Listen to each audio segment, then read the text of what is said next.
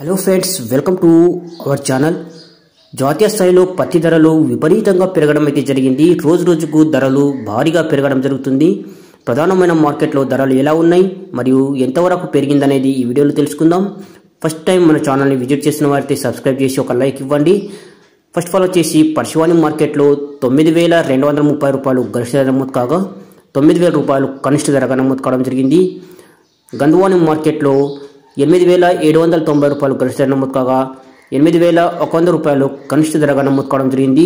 హలియాలా మార్కెట్లో తొమ్మిది వేల ఆరు వందల తొమ్మిది రూపాయలు గరిష్ట నమోదు కాగా తొమ్మిది వేల రూపాయలు కనిష్ట ధరగా నమోదు కావడం జరిగింది. రనిబెన్ను మార్కెట్లో తొమ్మిది వేల ఏడు వందల రూపాయలు గరిష్ట ధర నమోదు కాగా తొమ్మిది వేల రెండు వందల రూపాయలు కనిష్ట ధరగా నమోదైంది. తప్ప మార్కెట్లో తొమ్మిది వేల ఒక వంద అరవై ఒక రూపాయలు గరిష్ట ధర నమోదు కాగా ఎనిమిది వేల ఐదు వందల అరవై రూపాయలు కనిష్ట ధరగా నమోదైంది. గోలువాల మార్కెట్లో తొమ్మిది వేల ఒక వంద డెబ్బై రూపాయలు గరిష్ట ధర నమోదు కాగా తొమ్మిది వేల ఒక వంద ఇరవై రూపాయలు కనిష్ట ధరగా నమోదైంది. ఫలోడి మార్కెట్లో తొమ్మిది వేల ఐదు వందల ఇరవై రూపాయలు గరిష్ట ధర నమోదు కాగా ఎనిమిది వేల ఏడు వందల యాభై రూపాయలు కనిష్ట ధర నమోదు కావడం జరిగింది. విజయపురం మార్కెట్లో తొమ్మిది వేల రెండు వందల పద్నాలుగు రూపాయలు గరిష్ట నమోదు కాగా తొమ్మిది వేల రూపాయలు కనిష్ట ధర నమోదు కావడం జరిగింది.